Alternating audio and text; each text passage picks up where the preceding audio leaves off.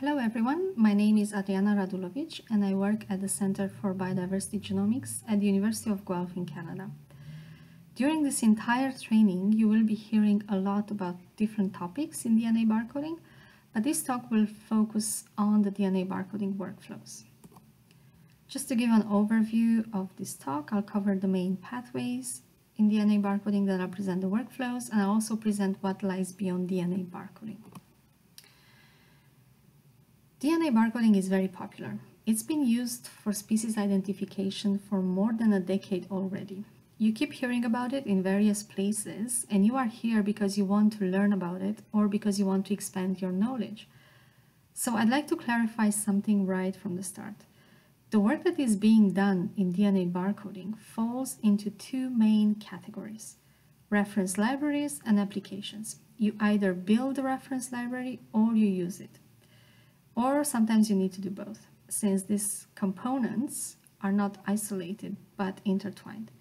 Most of you working in plant protection are interested in barcoding applications for your daily work, that is, how to identify plant pests based on DNA barcodes. However, sooner or later, you will be faced with a puzzle when your sequence of interest will have no match in the database and that's because that particular species is missing from the reference library. So I think it is useful for you to learn how reference libraries are built and used so that you know what to do in case you would like to incorporate your future puzzle into the library. A reference library consists of DNA barcodes, linked biological specimens, which are stored in public institutions, specimens that were previously identified based on morphological characters by taxonomists. To build a reference library, you need to have specimens first. Then you need a group of taxonomists to put species names on those specimens. And in these days, when the number of taxonomists is in constant decline, this task might not be that straightforward. Then you need an analytical facility to process those specimens to extract the DNA, amplify and sequence the barcodes. And then you need a database to store all the data and make it available to end users. Once the reference libraries are ready, they can be used for various applications, such as identifying pests, pathogens, invasive species, food fraud, or for biodiversity assessments in various geographic areas. And Many of these applications are important not only for academic studies on biodiversity, but for human health and plant health and animal health. And this led some regulatory organizations to start using DNA barcoding as a tool for molecular diagnostic of species of concern. And you will hear more about the EPPO standard from Bart and Marcel.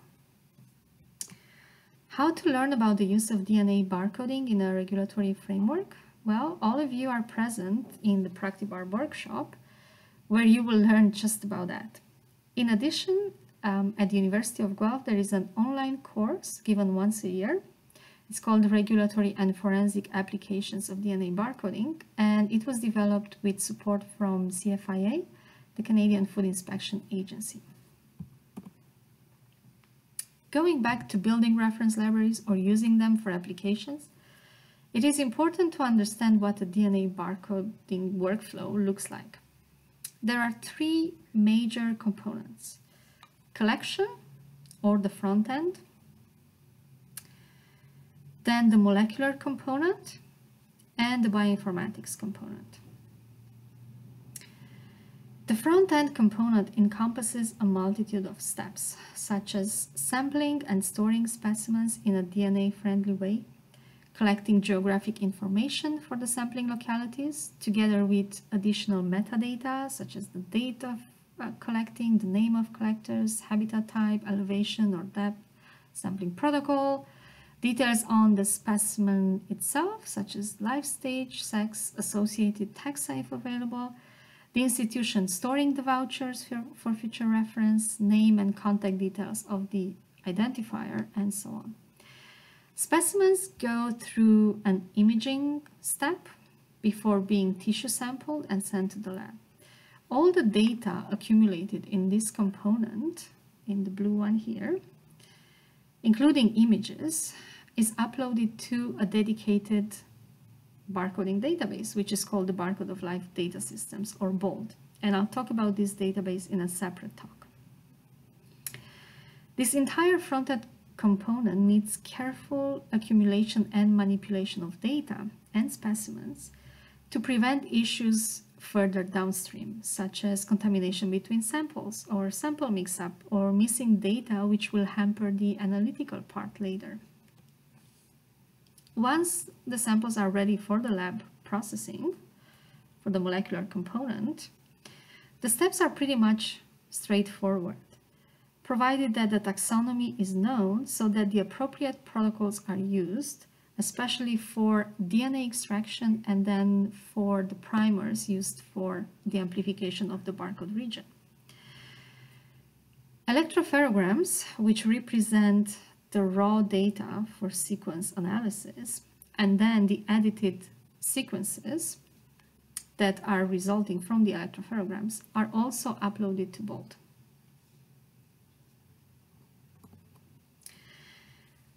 As you will learn about the molecular and the bioinformatics components later during this training, I'll just take a moment to show you what the front-end part would look like in a high throughput facility such as the institute where I work, uh, Center for Biodiversity Genomics. And I'll give an example from insects, the taxonomy group with most barcodes to date. Insects are usually labeled and pinned in insect boxes, as all of you probably know.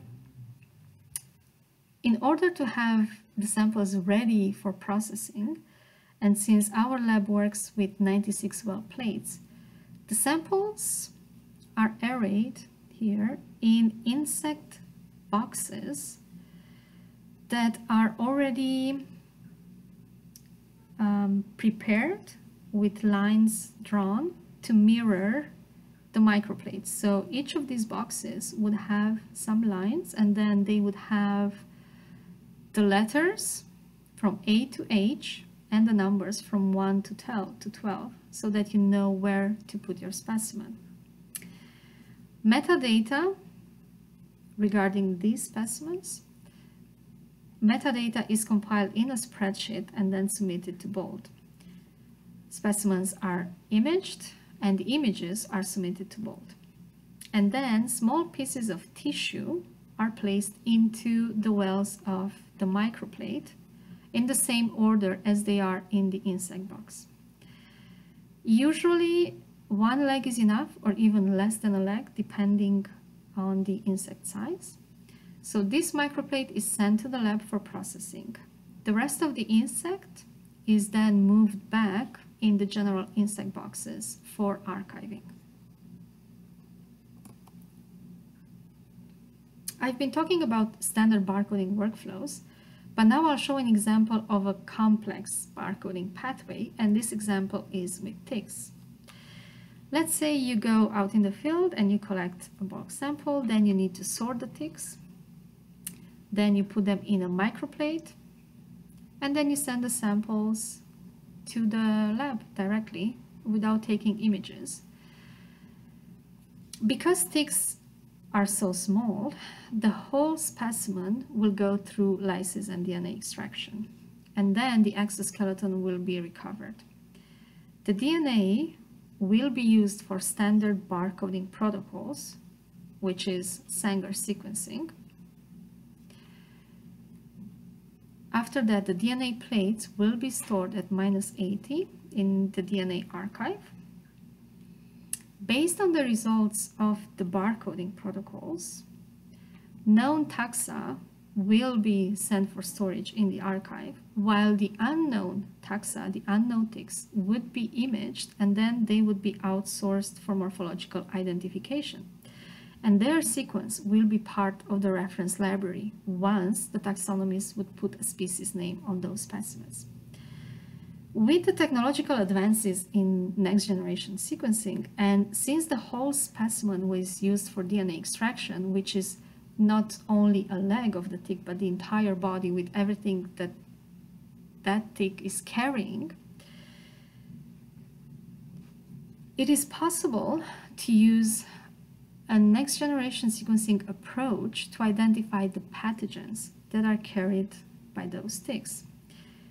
And these approaches will open the door for new opportunities in research and beyond. And with this, I'll move a bit to talk about technological advances. For those of you familiar with different molecular methods, you probably remember when RFLP's restriction length fragment polymorphism was used for diagnostic purposes. Then Sanger sequencing became popular and DNA sequences were used and are still used for diagnostics. And we are still here in the Sanger sequencing part for this uh, training. However, technology is constantly changing. The second generation of sequencing, which is called next generation sequencing, is becoming very popular and it currently goes through a lot of discussions and testing, especially with regards to its use in a regulatory framework. But we already have the third generation on the market, such as the SMRT sequencing, single molecule real time. And the next few years will be very exciting to see all the outcomes. Just to quickly show the NGS part, a mixed sample can be processed as it is, uh, meaning mixed, it doesn't need to be sorted by using the grinded biological material or just the storing liquid, which is filtered and then sent to the lab. Uh, the lab, no matter what NGS platform is used, uh, the lab will generate a large amount of data, and we are talking about millions of sequences. And this is the current bottleneck for NGS data processing because it requires supercomputers and skilled staff.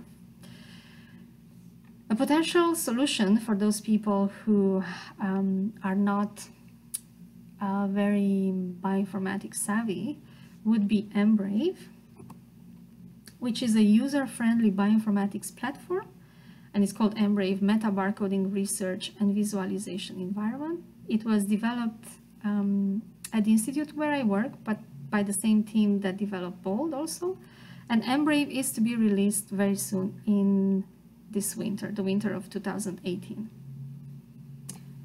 It will offer a multitude of analytical tools to be used by those who don't have a bioinformatics background, as I mentioned before. Now, with regards to the third generation of sequencing, um, our institute purchased the necessary equipment to move in a new direction and to start using the Sequel instrument from Pacific Bioscience to generate standard barcodes. So the, the next years will be very exciting. Now to end, I will leave you with some data pertinent to your field. How are we doing on the past barcoding front? A dedicated barcoding campaign, QBOL, the Quarantine Barcode of Life network, ended in 2012. And the outcome was a very tangible one. QBank which you, you will be using a lot during this training. QBank is the only database of sequences generated from curated material of regulatory interest. Which is all good, but now I'll show you a paper from 2013 from our group, the, the Hanner lab. And this paper looked only at the insect pests, so they didn't look at the other taxonomy groups and they found that about half of the insect pests have barcodes in 2013. And this is to reinforce my point that you will surely stumble across unknowns when you do your applied barcoding work, and you need to be prepared to cross into the sector of building reference libraries. Thank you.